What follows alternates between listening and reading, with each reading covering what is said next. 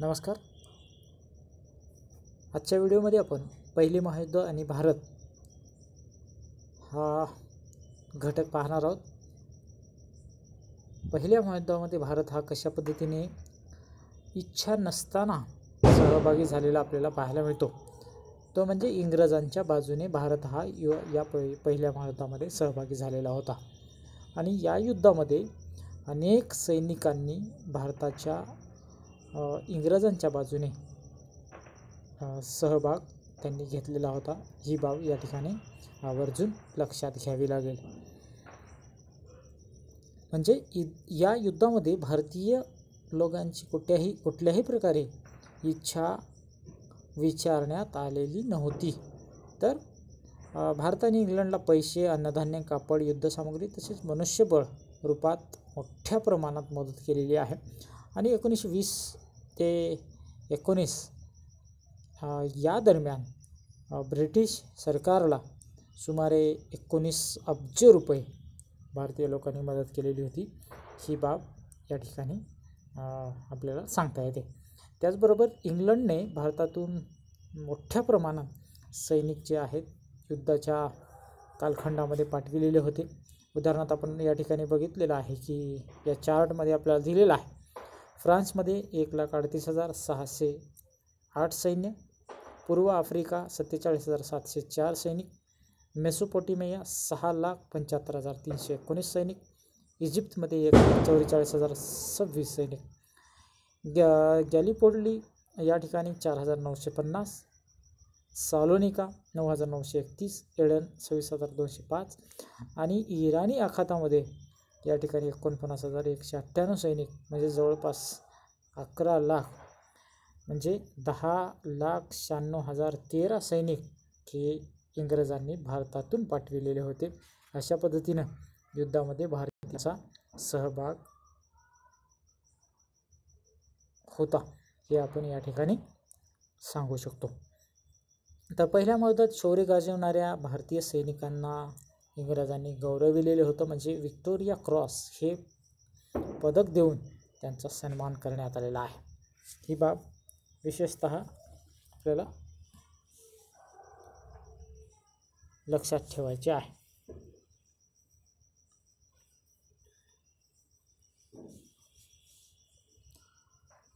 त्याचबरोबर या युद्धात भारताने इंग्लंडला भरीव अशी मदत केलेली आहे. दारुगोळा शस्त्रास्त्रे कापड जूट तंबू ताग छोट्या नौका इमारती लाकूड रेल्वे वाहतूक साधने इत्यादी गोष्टींची युरोपामध्ये पाठवणी करण्यात आलेली आहे. त्या ठिकाणी मोठ्या प्रमाणात ही भारतातील सामग्री वापरून त्या युद्धात इंग्रजांनी आपला प्रभाव निर्माण केलेला आहे.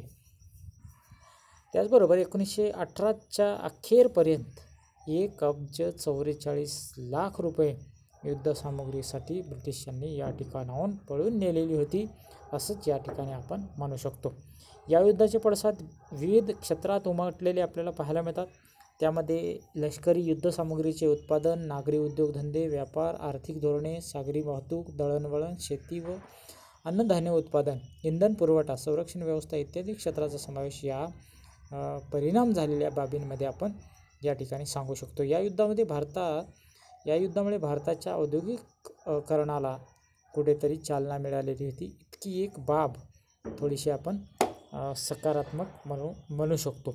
यामुळे झालेले प्रत्यक्ष व अप्रत्यक्ष बदल म्हणजे लोखंड पोलाद कोळसा व खाण उद्योगात या ठिकाणी दिसून येतात. पहिल्या महायुद्धानंतर भारतात मोटार उद्योगालासुद्धा चालना मिळालेली आहे. आणि ही कुठेतरी थोडीशी सकारात्मक बाजू आपण या ठिकाणी पहिल्या महायुद्धाच्या दरम्यानची सांगू शकतो. युद्धकाळ व युद्धानंतरच्या काळात भारतीय व्यापारात सुमारे तेहतीस कोटी रुपयाची निर्यात घट झालेली आहे आणि शेतीमालामध्ये मोठी मंदी आलेली आपल्याला पाहायला मिळते. अन्नधान्य हे इंग्लंड आणि इंग्लंडच्या मित्र राष्ट्रांकडे पाठविण्यात आल्या कारणाने भारतामध्ये अन्नधान्याचा तुटवडा निर्माण झाला. हा तुटवडा अनेक दिवस भारतामध्ये कायम चालू होता. अनेक लोकांना या दरम्यान त्याचबरोबर नंतरच्या दुसऱ्या महायुद्धाच्या दरम्यान उपाशीसुद्धा राहावं लागलेलं आहे. ही गोष्ट इंग्रजांच्या कारणाने भारतात तयार झालेली होती हे आपल्याला या ठिकाणी आवर्जून सांगता येते. पहिल्या महायुद्धातील सहभागाचे भारतात संमिश्र असे परिणाम झालेले आहेत. संरक्षणाच्या संदर्भात भारतीय सैनिक आणि भारतीय नेते यांच्या ल काही बाबी लक्षात आलेल्या आहेत. म्हणजे युरोपात लढताना आपली शस्त्रास्त्रे अन्य राष्ट्रांच्या दर्जाची नसल्याकारणाने या ठिकाणी कुठेतरी सुधारणा व्हावी असा एक विचार समोर आलेला आपल्याला पाहायला मिळतो. त्यातून विमाने अपरगत यांत्रिक साधने व तोफगोळा अपुऱ्या वैद्यकीय सुविधा सैन्यांच्या आधुनिकीकरणाकडे दुर्लक्ष सैन्याच्या शास्त्रशुद्ध प्रशिक्षणाकडे डोळे झाक युद्धोपयोगी सामुग्रीची कुठेही साठवणूक नसणे या बाबी ज्या आहेत याच्यामध्ये मोठ्या प्रमाणात कमतरता असलेली आपल्याला पाहायला मिळते. म्हणून कुठेतरी ब्रिटिश सरकारने यात लक्ष घालून या ठिकाणी एक स्वतंत्र अशी समिती स्थापन करण्यात आली आणि यात सुधारणा करण्याचं प्रायोजन इंग्रज सरकारने केलेलं आपल्याला पाहायला मिळतं. एकोणीसशे सतरामध्ये governor general Roy lord Chelmsford आणि Edward Samuel Montagu secretary of India state of India यांनी भारतातील ब्रिटिश प्रशासनास कोणत्या सुधारणा करता येतील याचा एक अहवाल तयार करून पाठविलेला आहे आणि अहवालातील नागरी तरतुदीबरोबर लष्करी सुधारणाही त्यांनी मोठ्या प्रमाणात सुचविलेल्या आहेत. त्यामुळे कुठेतरी भारतात विशेष लष्करी सुधारणा मोहीम आपण या ठिकाणी म्हणू शकतो ही तयार झालेली आहे. त्या ठिकाणी भारतात नंतरच्या कालखंडामध्ये सैन्यात कुठेही जात वंश धर्म याचा विचार न करता त्यांच्या क्वालिटीनुसार भरती करण्यात येऊ लागलेली आहे आणि भारतीय सैनिकांना मोठ्या पदांवर नेमणूक करण्यात येईल अशी एक बाब इंग्रजांकडून भारतीयांना सांगण्यात आलेली होती आणि कुठेतरी इंग्रजांनी या त्यांच्या फायद्यासाठी ह्या गोष्टी मध्ये सुधारणा केलेली आपल्याला बाब या ठिकाणी निदर्शनास येते. इंग्लंडमधील सँड हर्ट अकादमीप्रमाणे भारतातही सैन्याच्या सुधारणेसाठी त्या त्याचबरोबर सैन्य भरतीसाठी अकादमी निर्माण करण्यात येईल अशी एक शिफारस इंग्रजांकडून करण्यात आली. आणि तशीच एक अकादमी इंग्लंड सॉरी इंदोर येथे लष्करी महाविद्यालयातून निर्माण करण्यात आलेली आहे. आणि किंग्स कमिशन या ठिकाणी देण्यात आलेला आहे. घोडदळात कपात करण्यात आली आणि प्रादेशिक सेना अधिक सुसज्ज करण्यासाठी इंग्रजांनी प्रयत्न केलेला आहे. आणि एकोणीसशे एकवीसमध्ये हिंदुस्थानात युद्ध उपयोगी वस्तू व पुरवठा हे नवे खाते इंग्रजांकडून निर्माण करण्यात आलेलं आहे. आणि नंतरच्या काळामध्ये भारतीय वायुसेनेचा सुद्धा विस्तार करण्याचं धोरण इंग्रजांनी निर्माण केलेलं होतं. कुठेतरी वायुदलसुद्धा सुसज्ज व्हावं अशी इंग्रजांची इच्छा त्यांच्या फायद्यासाठी का होईना परंतु भारतात त्यांनी निर्माण केलेली आहे. या संदर्भात लोकमान्य टिळकांनी महायुद्धात केसरी या वर्तमानपत्राच्या माध्यमातून अनेक लेख लिहिले. व त्यांनी आपल्या भाषणातून वायुसेनेला आणि हिंदुस्थानच्या जागतिक राजकारणाला कुठेतरी महत्त्व द्या आणि हिंदी लोकांना मोठी अधिकारी पदे देण्यात यावी अशी आग्रही मागणी त्यांनी कुठेतरी लावून धरलेली आहे. आणि पहिल्या महायुद्धाच्या काळात ब्रिटिश सत्तेला युद्धकार्यात मदत करण्यासंदर्भात टिळक आणि गांधीजींनी एक दूरदृष्टी ठेवलेली होती. त्यामध्ये आपण असं म्हणू शकतो की कुठेतरी आपण युद्धामध्ये सहभागी जर झालो तर आपल्याला हे ब्रिटिश लोक त्याच्या मोबदल्यात स्वातंत्र्य देतील ही बाब त्यांच्या कुठेतरी लक्षात आलेली होती. त्यातून पुढे भारताला स्वातंत्र्य मिळालेलं होतं दुसऱ्या महायुद्धाच्या कालखंडात. परंतु पहिल्या महायुद्धाच्या नंतर कुठेही ब्रिटिशांची इच्छा भारत सोडण्याची नव्हती. तर इंग्रज साम्राज्यशाहीने सुरू केलेल्या युद्धात हिंदुस्थानला ओढण्यात आलेले आहे. आणि पंडित जवाहरलाल नेहरूंनी आपली कन्या इंदिरा गांधी यांना पत्राद्वारे असे म्हटलेले आहे की कुठल्याही प्रकारची इच्छा नसताना भारताला या युद्धामध्ये ओढण्यात आलेलं होतं. हे युद्ध हिंदुस्थानचे नव्हतेच मुळात. आणि हिंदुस्थानचे जर्मनीशी सुद्धा कुठलेच भांडण नव्हते आणि तुर्कस तुर्कस्तान या देशाशी सुद्धा कुठल्याही प्रकारचे भांडण भारताचे नव्हते. तर हिंदुस्थान इंग्लंडची एक वसाहत होती. त्यामुळे आपल्याला या युद्धामध्ये सहभाग घ्यावा लागलेला आहे. मालकिनीच्या पदराला धरून जाणे असा उल्लेख या ठिकाणी या पत्रामध्ये पंडित जवाहरलाल नेहरू यांनी केलेला आहे. हिंदुस्थानात दारिद्र्य हो होते.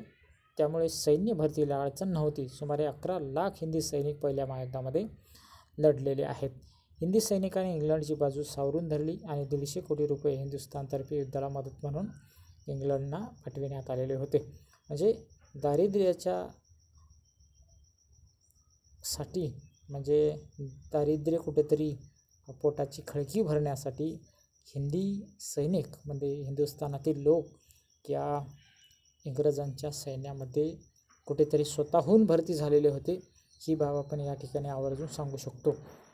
तर पुढे महायुद्धाच्या काळात भारतातील अनेक लोक देशांतर करू लागलेले होते आणि या लोकांनी कॅनडा आणि अमेरिका या देशांना निवडलेलं आहे.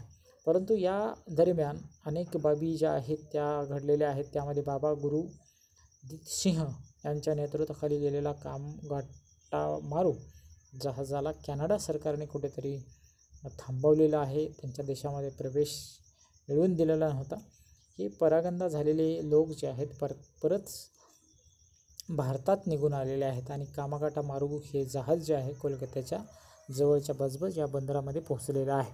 आणि जहाजातील उतारूंनी ताबडतोब आपल्या गावी जावा परत जावे असा एक आदेश इंग्रज सरकारने काढलेला होता. परंतु या आदेशाचं पालन या लोकांनी केलेलं नाही म्हणून यांच्यावर मोठ्या प्रमाणात इंग्रज अधिकाऱ्यांनी गोळीबाराचे आदेश दिलेले होते. त्यात तीस प्रवासी मारल्या गेलेले आहेत. आणि या गोष्टीमुळे या निर्दयी गोळीबारामुळे इंग्लंडच्या सरकारविरोधात मोठा प्रक्षोभ निर्माण झाला. आणि त्यातून पुढे ही चळवळ जी आहे भारतातील स्वातंत्र्याची एक व्यापक झालेली आपल्याला पाहायला मिळते. तर जर्मनी आणि भारताच्या राष्ट्रवादासंदर्भात या ठिकाणी काही बाबी सांगण्यात आलेल्या आहेत. जर्मनी हा देश राष्ट्रवादी होता. भारतावरही राष्ट्रवादाचा विलक्षण प्रभाव होता पण जर्मन राष्ट्रवाद आणि भारतीय राष्ट्रवादामध्ये मूळतः जमीन आसमानचा फरक होता असं आपण या ठिकाणी म्हणू शकतो. जर्मनी इतरांचे राष्ट्र प्रदेश आपल्या खशाखाली म्हणजे आपल्या नियंत्रणाखाली आणण्यासाठी झगडत होता आणि आपलं राष्ट्र बलिष्ठ करण्यासाठी तो प्रयत्न करत होता. तर भारताचा राष्ट्रवाद हा भारताच्या पायातील गुलामगिरी म्हणजे स्वातंत्र्य मिळवण्यासाठी गुलामगिरी तोडण्यासाठी पारतंत्र्य तोडण्यासाठी भारतीय लोक हे झगडत होते. अशा पद्धतीने ते एकत्र आलेले आहेत आणि या एकत्र येण्याला त्यांच्या स्वातंत्र्य मिळविण्याच्या भावनेला आपण या ठिकाणी निश्चितपणे राष्ट्रवाद म्हणू शकतो. ॲबिसिनिया स्पेन चीन इत्यादी देशामध्ये सुद्धा अशा पद्धतीची लोकशाही चळवळ निर्माण झालेली होती आणि त्यातून भारतीयांच्या वतीने शुश्रूषा पथकीय स्वयंसेवक अन्न स्वयंसेवक अन्नधान्य इत्यादी मदतसुद्धा मोठ्या प्रमाणात पाठविण्यात आलेली होती. आणि जर्मनीत वंशभेद हा प्रबळ झालेला वाटला होता. हिटल हिटलरने पहिल्या महायुद्धाच्या दरम्यान आपण बघितलेलं आहे की लाखो ज्यू लोकांची त्याने कत्तल केलेली होती. पण भारतात मात्र कुठल्याही प्रकारच्या अशा गोष्टीचा उल्लेख आपल्याला पाहायला मिळत नाही. प्रथमपासून निरनिराळ्या धर्माचे लोक जे आहेत भारतात एकसंग गुण्या गोविंदाने म्हणजे अतिशय प्रेमाने राहत आहेत. हे भारतीय राष्ट्रवादाचे एक अतिशय मोठे वैशिष्ट्य म्हणून आपण या ठिकाणी त्याचा आवर्जून उल्लेख करू शकतो. अशा पद्धतीने या ठिकाणी भारत हा कुठलीही इच्छा नसताना या युद्धामध्ये ओढला गेलेला आहे आणि अनेक बाबींवर या पहिल्या महायुद्धाच्या नंतर भारताच्या अनेक बाबींवर परिणाम झालेला आहे. भारतीय लोकसुद्धा या पहिल्या महायुद्धानंतर इंग्रजांपासून सावध झालेले आहेत. कुठेतरी त्यांच्या डोक्यामध्ये एक विशिष्ट गोष्टी ज्या आहेत ते प्रकाशमान झालेले आहेत. त्यातून पुढे भारताला दुसऱ्या महायुद्धानंतर स्वातंत्र्य मिळालेलं आहे. ही बाबसुद्धा एक महत्त्वाची बाब म्हणून आपण या ठिकाणी उल्लेख करू शकतो. अशा पद्धतीने आजच्या व्हिडिओमध्ये हा भाग तुम्हाला समजला असेल अशी अपेक्षा करतो. मी या ठिकाणी थांबतो. धन्यवाद.